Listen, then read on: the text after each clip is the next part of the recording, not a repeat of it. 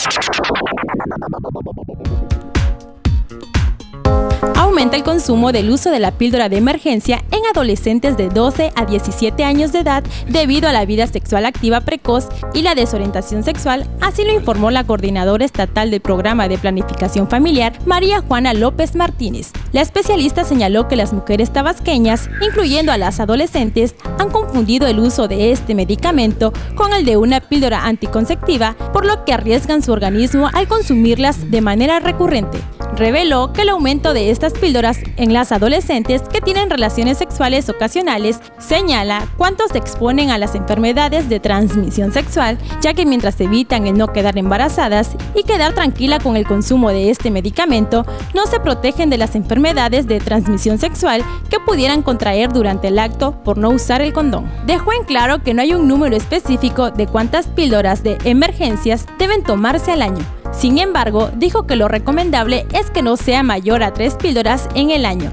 Cada mujer debe decidir el momento en que se deba de recurrir a esta. Además, sugirió a las mujeres que ya mantienen una vida sexual activa a optar por un método anticonceptivo permanente. Con información de Humberto Palomeque, informó para Grupo Presente Multimedios, Adriana Wilson.